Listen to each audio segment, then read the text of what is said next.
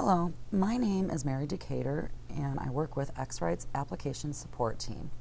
Today I'd like to take a few minutes to show you how to apply a Color Checker Passport DNG profile to multiple images while working in Lightroom 3.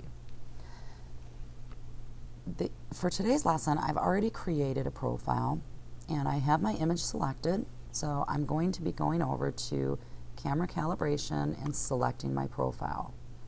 For today's lesson, I've named my profile Canon July Keegan Daylight. Keegan being my daughter's name, Canon the name of the camera, and the lighting condition was daylight.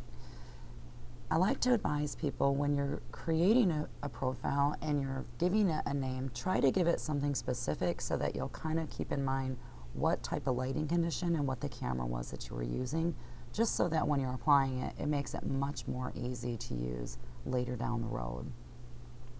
So now I've applied my camera profile to this image and what I'm going to do is select multiple images by clicking on my control and simply clicking the images that I would like to apply the profile to.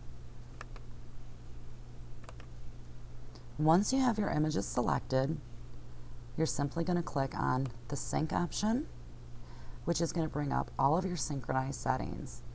While there's many different settings within this box, we're going to go ahead and select check none and only apply the calibration.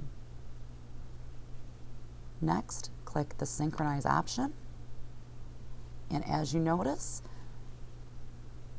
your camera profile has now been applied to all of the other images that you've selected and you've synced this setting over to multiple images all at the same time in a matter of two clicks.